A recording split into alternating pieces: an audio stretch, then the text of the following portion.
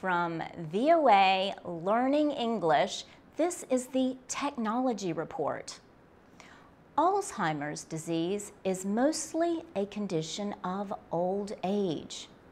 Today, life expectancy is increasing around the world. As a result, the number of people affected by Alzheimer's is expected to triple in some countries by 2050. People with this brain disease often have other medical needs that require the services of many healthcare professionals. Caregivers often have a hard time keeping up with all the medical information. More and more often, family members are being called on to help care for loved ones with Alzheimer's.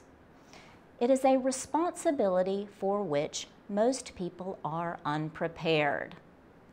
That is why the Hebrew Home, a private healthcare group in Riverdale, New York, developed an iPhone and iPad application called Balance the app offers caregivers advice on recognizing symptoms and on feeding, bathing, and providing a healthy environment for the patient.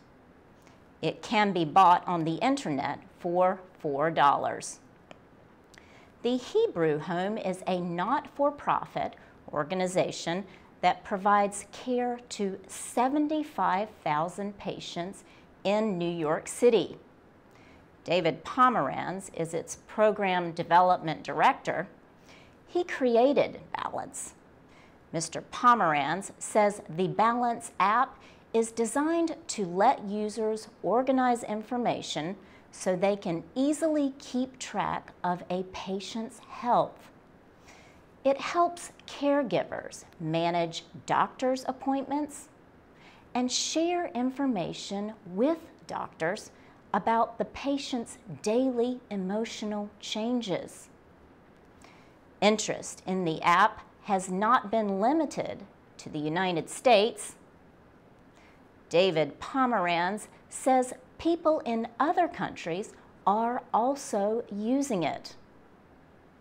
Software developers are working on a version of Balance for mobile devices using the Android operating system.